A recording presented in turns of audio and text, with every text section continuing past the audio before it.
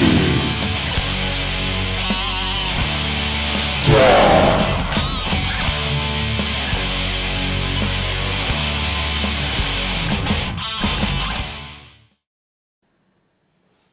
and welcome to a very belated Father's Day edition of Mark Fixes Stuff. Uh, in the UK, it was recently Father's Day, and my children gave me a couple of lovely cards. Now, the first one is um, from my youngest daughter, who's five. It says, So glad we're tied together.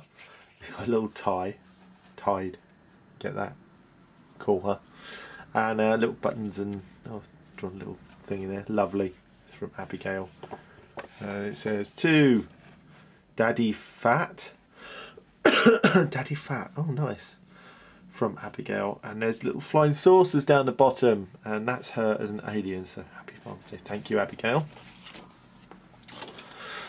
And this is from my eight year old. It's uh, a Mark Fixes Stuff shirt, which I thought was awesome. Again, I've got a tie on, which is strange because I never wear a tie, ever. Um, but I guess this is the. Uh, the idea that children have that what, what dads wear more like that yeah so um dear daddy happy father's day i love you lots and hope you like this card i hope you have a great g-r-a-t-e father's day lots and lots and lots of love from ella. Kiss kiss. Lots of hearts as well. So thank you ella. And uh, the bit you'll probably be interested in is underneath they bought me this lovely gift which is uh a new budget range, but better than the one that I tend to use in my videos, uh, multimeter. It's a Tenma digital multimeter, and um, delivered they cost around twenty-four pounds. Uh, Tenma is one of those brands which uh, sold by Farnell CPC, etc. in the UK and France, and you can probably get in the States as well, because um, it says here tenma.com, uh, .com, Springboro, Ohio. So uh, yeah, so this, this, might be useful. And um, genuinely, first time I'm opening this, so I'm using my new Rostrum camera. Haven't quite got um, the LED light solution sorted out quite yet, but it is a lot cooler for what we're lacking in maybe clarity, but I'll, I'll work through that if you bear with me, guys. So um, a manual, lovely. Um, not sure what uh, features this one has actually. Let's see. So I've got a bit of a cold. So, so what does it come with? Operating manual, test leads, multi-purpose socket, point contact temperature probe. Oh, it's got a temperature probe. Um, oh, it might be useful for showing um, overheating chips in videos. Anyway, uh, um, enough of that. Let's have a look at the goods. What do we have here? Um, some probes have a little feel yeah really actually it's really nice flexible quality much better than your sort of three to five pound multimeters that I have a tendency to use the reason I use cheap multimeters is um, they're really you know easy to get hold of and I lose them quite a lot so I'm not going to lose this one I promise girls absolutely promise um, probes nice actually feel really good Okay, so take the probes out. Try not to cough on camera at the moment. I even got little plugs in the end to keep the dirt out. So, uh, nice. They are just standard probes though, end of the day. um, a Go-Lite battery. Which, uh, oh, it's glowing like something godlike. Mm, look at that um, so I'll have to fit that. Uh, a temperature probe which might need to go into a block adapter. Yeah, block adapter. So that goes into there which would then go into excuse me, sorry, not sure which one it goes into actually. Um, but that'll be in the manual as well. Something like that anyway. Right, so this isn't going to uh, fire out. I quite like the colour, it's sort of a salmony orange, really. Um, a butternut squash colour. Um, doesn't seem to have a backlight, which is a good thing because it doesn't kill the batteries so quick. How do I get the battery into this? Uh, no battery compartment as usual. multimeters all screwed together. I think there's some regulation, let's pull this off, that says that uh, multimeters have to be screwed together. So. Find rusty screwdriver. Rusty screwdriver. And I'm approaching this gingerly because I managed to stab myself in the finger yesterday with a shard of glass whilst I was repairing some disco equipment. And um, yeah I think it's infected. Just had it in a bowl of saline for 20 minutes. But you know you live and you learn. Or in my case you live and you don't actually learn. And um, there we go. So these lights above are actually operating off of um, six AA batteries which seem to get munched fairly quick I'm, I'm not sure I like the whole effect of the lights to be honest. I think it's a bit too direct and specular. So um, might look for another solution. But I do like the rostrum camera. It's working quite well. Um, so I can get a good deal of um, stuff over there. So uh, we'll put that down there. I'll just show you the uh, macro feature that I've built into my new rostrum that I've built. If I can find my remote control, I shall. Here we go, check this out. So this is um, zooming in. We've shown you all the good components, but after a while, obviously, it goes a bit out of focus. But then, I'll be able to stick it into the macro mode. He says.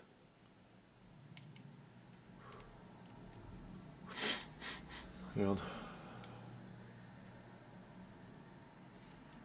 try that again. or not as the case may be because that would mean mucking around with the camera and I don't want to do that to anyone because it's all shaky. Oh anyway it goes really really close up when I can work it out. Let's go. Menu? No I'll be using the remote control here oh dear oh I know why it's because I'm in manual um, Manual mode. Okay. Anyway, I'll come back to that. Basically, for the close-ups, I can get I can get really close into the chips. So anyhow, so go back out there. Do do do do do. Just not set up for this because that's not what I was about to do. I've got to be wary of these shadows as well. They're not terribly pleasing on the videos. Okay, so 9 volt battery. We will test this one. Uh, I, I, have a tendency to usually use a Duracell in these, not use the included ones, but I don't have one to hand. So I'm assuming that I'm going to pop the um, the battery in here, plus negative terminals in the correct position, like that. That's not about to fall out. And then it must just go over there. So let's give it a go.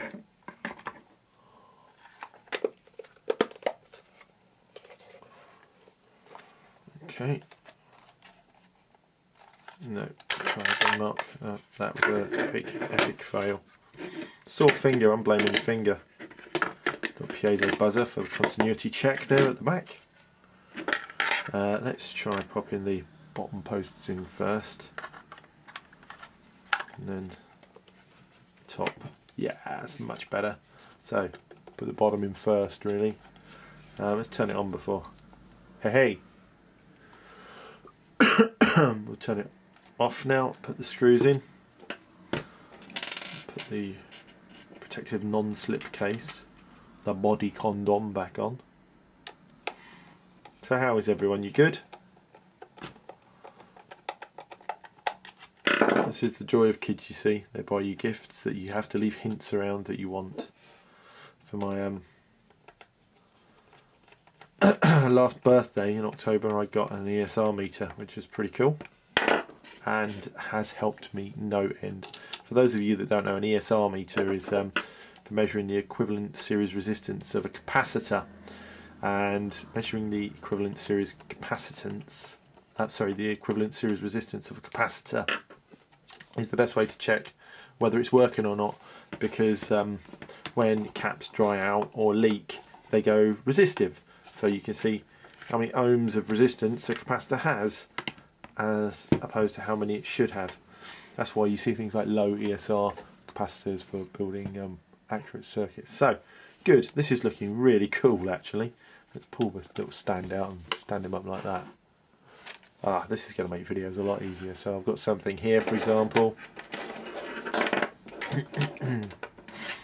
and we will plug the test leads in. To here. And it's quite a chunky chunky beggar. Oh dear. New test leads all square squared up with. Right so it's set on degrees Celsius already so um, I don't want to bore you too much so we're just going to the diode check continuity check I think and uh, it's here nice Oh, that's really good. I bet that's picking up really well as well. Um, diode check, really useful. Continuity check's really useful. That's my hand shaking, by the way. it's making that awful noise. Um, let's do a continuity check on rusty screwdriver.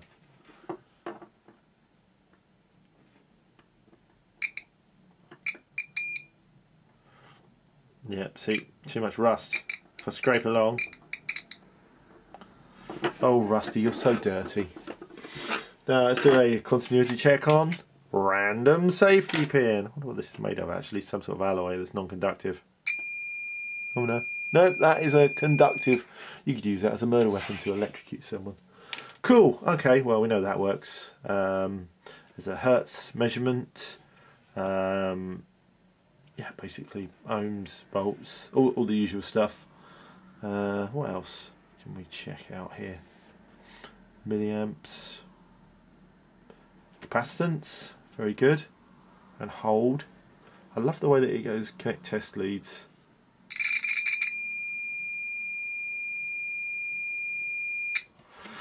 So I think I need to read the manual on this actually because it's telling me to connect the test leads when uh, I already have. Let's try powering it off and on again.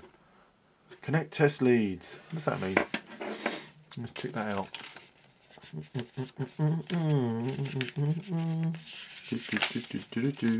Oh, I'm boring you, aren't I? I'll check that out later. Um, let's actually see the temperature function because that'd be quite. Temperature measurement number 22. Let's see. see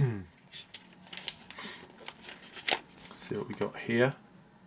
We have got. Where is it? Oh, it's 21. Dope. measurement operation. Temperature measurement. See figure 8. Okay, so that needs to go in the middle. There. Think. Yeah, with these two jobbies. Okay.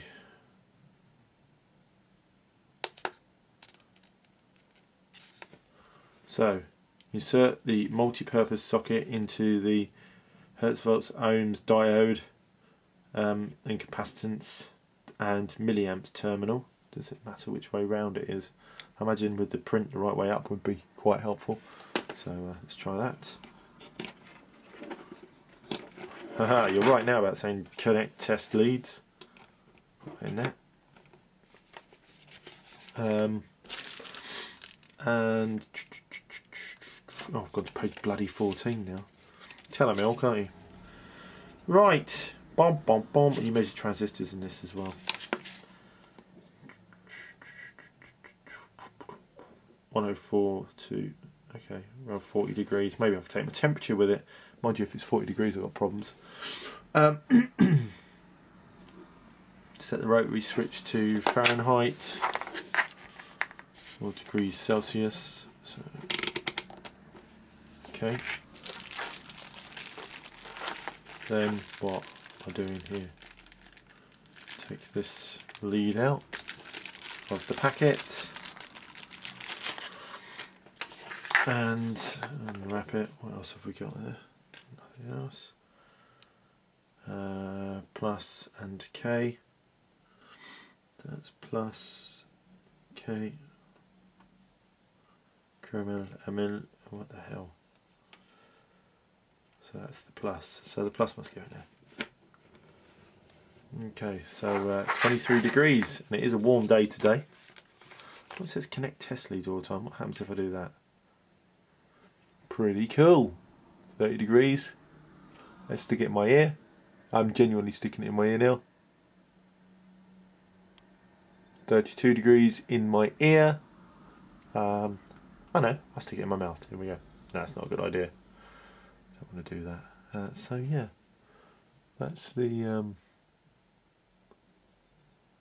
tip thing. What else can I test?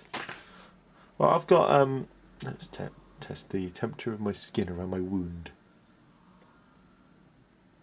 32, you know, as you'd expect. Inside the wound, 33! Oh my god, I'm dying. Right, uh, yeah, that's pretty cool actually. Um, I have got an Amstrad with a stuck RAM chip, which I can uh, check out with that. That's a, a, pretty cool thing.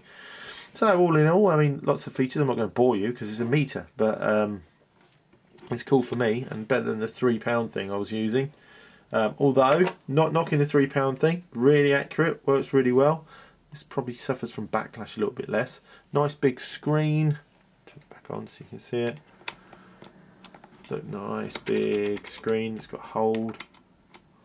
I do like that it tells you what ones you're meant to be connecting because I, I, get that question quite a lot. I want to measure um, sort of like um, DC voltage and um, AC voltage. What do I need to be connected to? So if you go to the settings, you see it actually shows you what holes the pegs need to be in. Really good. Yeah, I'm really pleased. So thank you to my beautiful daughters. These will go back in the bag. Might give it a wipe since it's uh, yeah, been in my ear and in my wound. and um, I'm going to um, leave it at that because I want to make another video now of um, an actual repair. So uh, yeah, this is Mark from Mark Fixes Stuff signing out, saying subscribe to get your fix. Thank you for watching me open my gift. I'll see you later. Bye bye.